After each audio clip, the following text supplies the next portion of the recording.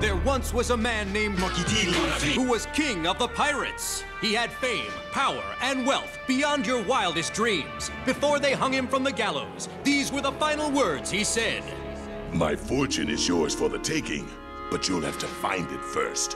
I left everything I own in Nose. Ever since, pirates from all over the world set sail for the Grand Line, searching for the treasure that would make their dreams come true. Yo! Don't give it up, Luffy. Don't give it up, Zolo. Don't give it up, Nami.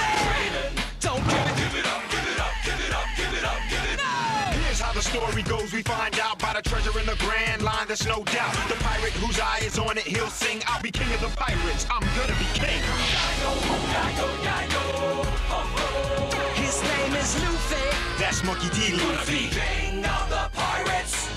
Made of rubber. How did that happen? Yo ho ho, he took a bite of gum gum. His name's Zolo. He's just like a samurai and a L-A-D-Y. Nami's not shy. Usopp's doing that marksman thing. Sanji's cooking. Chopper's doctoring.